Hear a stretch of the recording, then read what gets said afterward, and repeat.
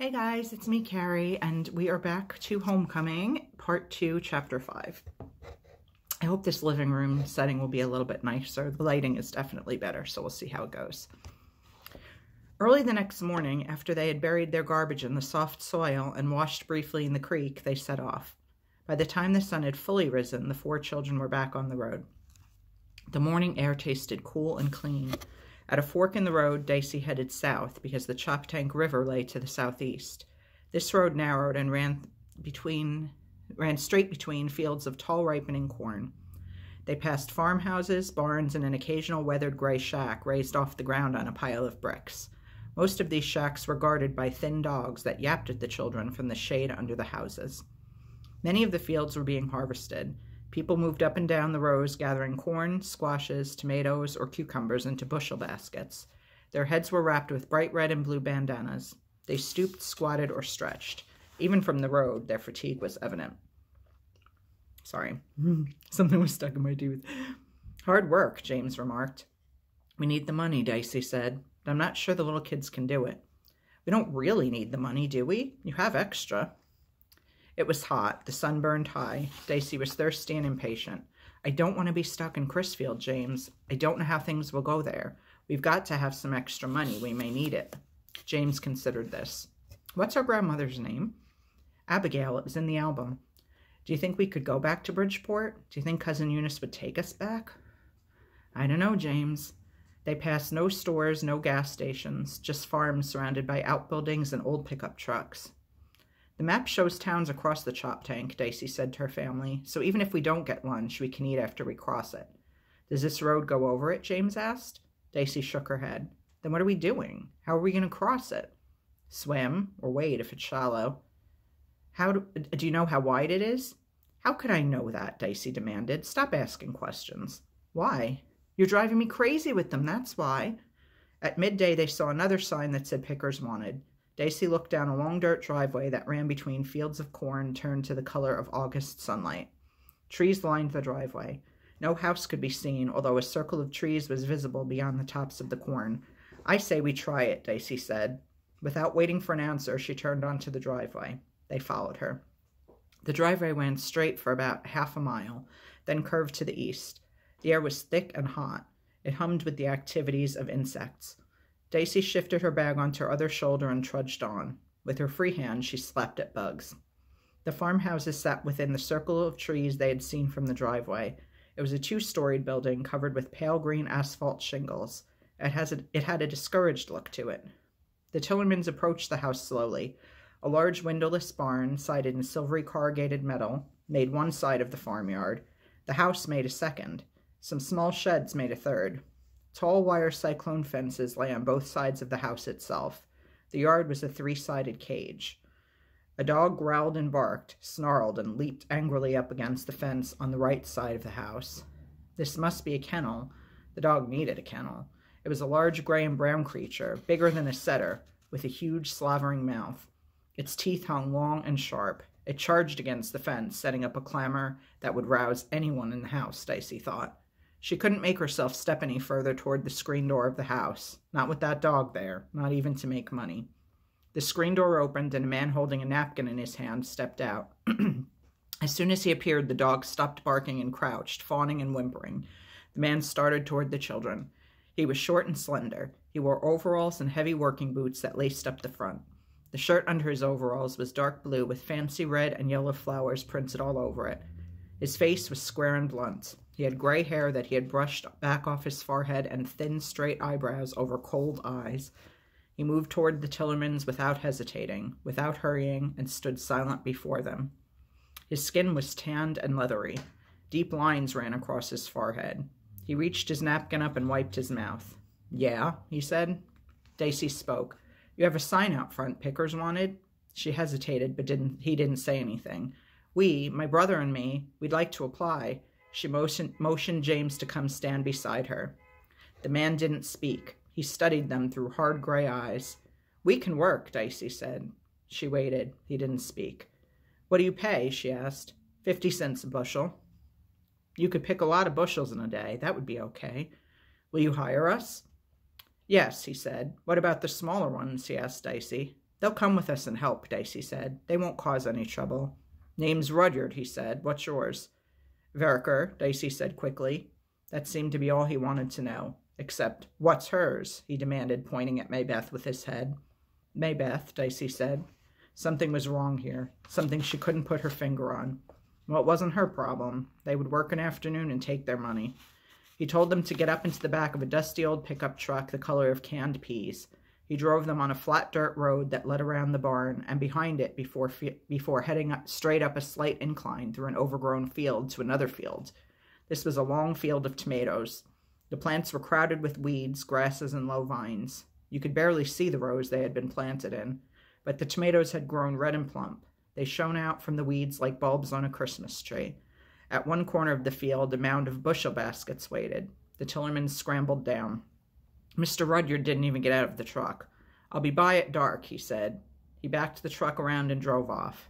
Dicey watched it go into the distance, back to the barn, then around it and out of sight. Creepy, James said. You can say that again, Dicey agreed. Maybeth, you okay? Maybeth nodded, wide-eyed. How long do we have to stay? Sammy asked. They all felt uneasy. Dicey tried to reassure them. Just this afternoon, then we'll take our pay and get out of here, okay? They got to it. Because they were hungry, Dicey decided they could each eat two tomatoes. That was fair enough, she figured. Then they all worked together, pushing or pulling weeds away from the tomato plants. One would hold back the overgrowth, and the rest would reach in for tomatoes, wrestling the fruit from the stems. Their legs and hands and faces were scratched. They had bug bites on every part of their bodies. Dirt was smeared across their faces and arms and legs. They left the filled baskets where they were when they finished with them. After an hour, they had completed one row. Two to a basket, they carried the bushels down to where the pile of empty baskets waited. They had six baskets. Three dollars, Dicey said. Dicey's back ached from bending over. Her hands stung where small scratches had accumulated. She had never felt such heat before, an air that closed down over her and made her, it hard to breathe. Hot, James said. It's too hot, Dicey. You two take a break, Dicey said to Sammy and Maybeth. Go off and explore a little. Stick together, though. When you're rested, come back and help. Remember our name? Vereker, Sammy said. What's that? Our father's name, Dicey said. That's right, James said. How'd you know that? So what, Sammy said. I like Tillerman better. Sammy and Maybeth wandered off down the edge of the fields, going away from the house and the dog. Dicey and James got back to work. This row took longer. James grew sloppy, and Dicey had to nag at him to keep at it and find all the ripe tomatoes that grew on the plants and on the long vines that crawled along next to the dry earth. My back hurts, he protested. I'm hot. His face was streaked with dirt and sweat. His eyes wavered between anger and self pity. He crouched unwilling by her side. It's only for an afternoon, Dicey snapped at him. Sammy and Maybeth returned before they had finished the row. There's another field, Sammy reported, and a river. I wanted to go swimming, but Maybeth wouldn't. The Choptank, Dicey said. Could we swim across it? James asked Sammy. Sammy nodded. Dicey shot a triumphant glance at James. It's not wide, Sammy said. I could swim it easy. Can we go now, Dicey? Maybeth asked. Dicey almost said yes. They all looked at her, waiting. She shook her head. Not before we get paid, she said grimly. Don't worry, we'll be all right, as long as we're together. At late afternoon, when the sun was beginning to lower and the mosquitoes were beginning to rise, the green pickup truck returned. The children went eagerly to meet it. Mr. Rudyard had the dog in the front seat with him. He climbed down and pulled on a long rope to get the dog to follow him. The Tillermans crowded together. The dog snarled at them. There's a bag in the cab, Mr. Rudyard said to Dicey. The missus said I had to feed you something. He walked off down to the far end of the field. What's he going to do? Maybeth whispered. I don't know, Dicey said.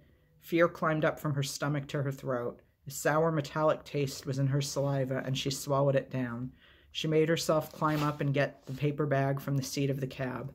Mr. Rudyard had left the keys in the ignition. Mr. Rudyard tied the dog to a tree using the end of the long rope. When he came back, Dicey had decided what to do. We can't pick any more, she said. We have to go now, she said. He looked at her out of cold eyes. Then he said, If he runs against that sapling, it'll snap. He got back into the truck and leaned out the window. I keep him hungry, he remarked. He backed the truck around and drove off. In the silence, Dicey could hear insects humming. What does he want? she demanded. Nobody could answer her. We might as well eat, Dicey said. They all sat down. Mrs. Rudyard had packed a tall thermos of milk and a package of tall biscuits slathered with butter, slathered, slathered, that's easy to say, with butter and bright strawberry jam. They passed the thermos around. The biscuits looked delicious. Dicey took a bite of one and her stomach closed against it. She put it down on the wax paper. Even James couldn't eat. They looked at one another. I'm sorry, Dicey said. Well, I don't care. I'm not picking any more, Sammy announced. He threw his unfinished biscuit into the pile and they scattered around like fallen blocks. And you can't make me, he said to Dicey. Dicey couldn't help smiling at him, and that made her feel better. I won't try, she said. James, what can we do? I'd like to kill him and hit him, Sammy said. He scares Maybeth. Maybeth had big tears in her eyes. There's the dog, James said, and the man. Absent-mindedly, he picked up a biscuit. He took a bite, then tossed it down again. He's crazy, Dicey. That crazy, she agreed. Don't get on that truck again, no matter what. He wants us to be scared, Maybeth said. He wants to hurt us. Dicey nodded. Her mind was working and working, and she couldn't think of anything. James just stared at her. She picked up her maroon bag from where she had put it beside the bushels. She took out all of the money and jammed it into her pocket with the jackknife. With the jackknife, if she had to, she could try to fight the man or the dog. She stuffed the map into the waistband of her shorts. We're going to have to run, she said. When he comes back for the dog. James, you take Maybeth. Maybeth, no matter what, you stick with James. Sammy could take care of himself. Go for the river. What about you? James asked. I'm not sure. Dicey tried to keep her voice normal. She had gotten them into this mess, and if anyone got caught, it should be her. I'll do something. You just keep ready to run and it was deep twilight, shadowy and still, when the truck returned. The Tillermans sat where Mr. Rudyard had left them. The highlights shone on them briefly. The headlights shone on them briefly. He backed the truck so that its back section was where the filled bushel baskets waited, and its nose pointed almost straight down the road to the farmhouse. He got out and looked at them. You're not much use, he observed. Maybeth grabbed Dicey's hand as his eyes rested on her. I'll just have to teach you. Now load up, he ordered. He walked down to the dog, which barked a greeting. How does he know we're alone? James wondered. Quiet, Dicey said. She looked into the cab to see if the keys had been left there. They had. Okay, now listen. When he's to the dog, tell me. And when I say run, you run. All of you, as fast as you can. You hear? They nodded. Dicey got up into the truck. She tried to forget about the man at the far corner of the field. She looked for the key and found it. She turned on the engine. Nothing happened. She looked at the transmission box. A needle pointed to D. Quickly, she shifted to N. Now, Dicey, James whispered. She took the key again, and the engine caught. Dicey looked back over her shoulder. Mr. Rudyard ran toward them, his mouth open in a yell. The dog ran ahead of him at full cry, but held back by the rope that his master had looped around his shoulder. James, Dicey yelled, now run! She shifted into D and turned the wheel so it would head straight down the road to the barn.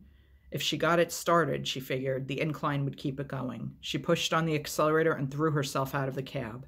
The ground surged up to meet her as the cab door slammed against her shoulder. It hurt, but she didn't have the time to worry about that. She rolled onto her feet and looked to see her family waiting, watching her. Go! she shrieked.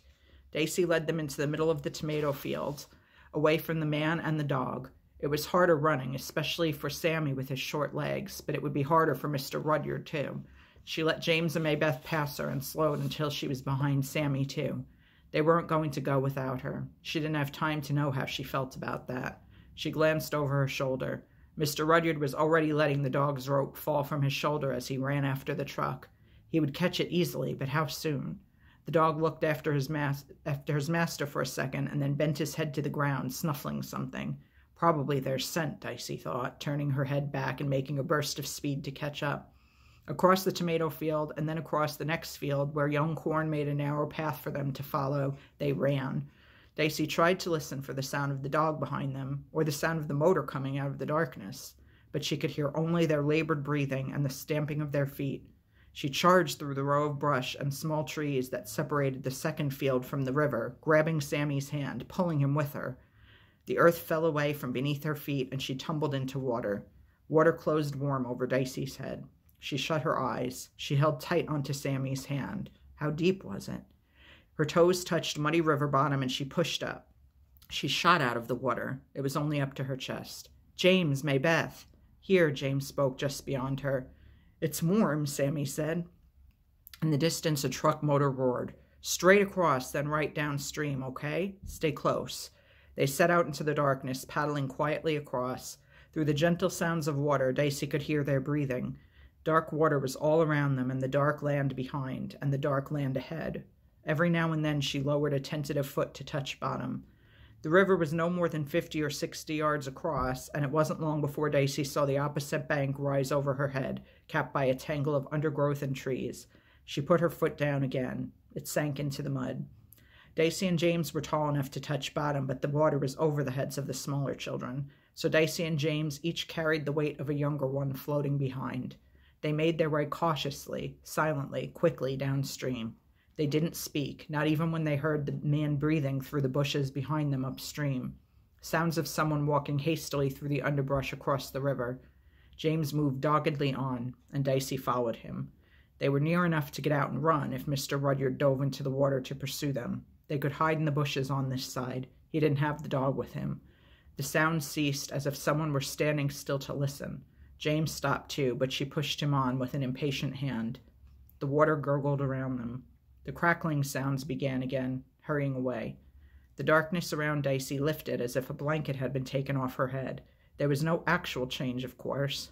Only the night seemed cool and empty, and the clear dark silhouettes of bushes and trees above them seemed to move back to give her more room, and the broad river seemed to float peacefully beside them. They kept dis- they kept silent for another half hour, working their way downriver. At last Dicey spoke. Let's get out. James, can you lift Sammy? Sammy, do you mind being first? Course not, Sammy said. James hoisted the little boy up onto the bank. Sammy reached down to help Maybeth scramble up. Dicey pushed James from behind, and he turned around to pull her up, with while her feet slipped against the muddy bank, searching for a firm hold. They sat, huddling together, shivering, but not from a chill. Dicey turned to look behind them, where flat farmland stretched off. No windows shone, but she could see a pair of headlights far off, moving on in a straight line. There must be a road.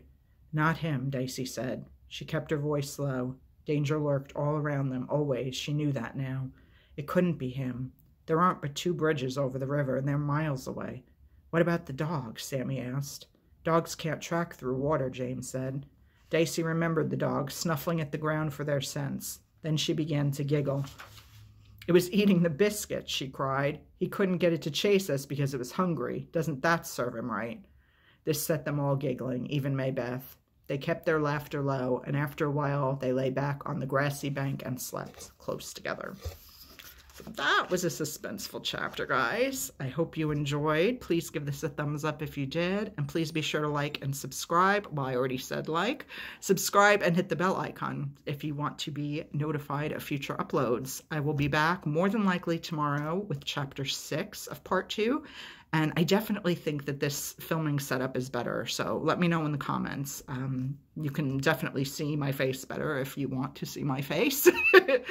but um, I personally, I if I were you, I would probably be listening to this with my eyes closed, which is what I tend to do with audiobooks. It helps me relax, especially when I've got a migraine or I'm not feeling well. So anyway, I hope you liked. Thanks for watching and listening, and I'll be back soon with more stuff. Bye, guys.